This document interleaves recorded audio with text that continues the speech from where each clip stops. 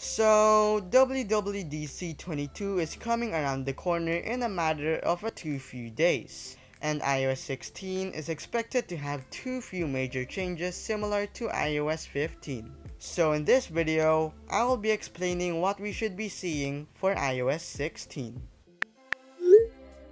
Starting with the lock screen.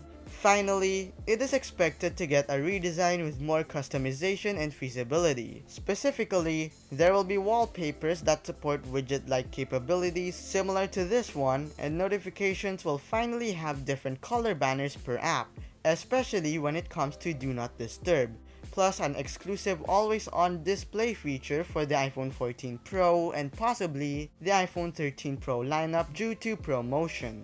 Moving on to its home screen, app icons will finally get a redesign for after almost 5 years. It is currently unknown if the design will be similar or exact to macOS or not, but we will also get a major redesign to its control center to resemble more of macOS, and similar features to iPadOS including 4 apps into the app switcher instead of 1 and likely 2 apps in one screen.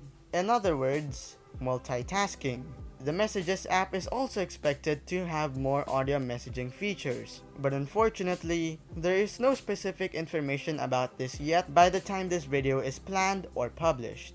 And wallpaper settings will finally have a new interface where you can have smart gradient options plus force dark mode in most websites when using Safari. Now, in terms of what devices could be compatible for iOS 16, Based on my experience on iPad OS, despite a different software and someone's experience, any device with 2 gigs of RAM will still go through or get supported for iOS 16 and for the next upcoming years, despite rumors say otherwise, as it's not really showing its age and its performance is pretty much okay, so there's no reason to discontinue it at this time and check out one of these videos above me about what we could almost fully expect for the M2 MacBook Air or what to expect for the iPhone 14.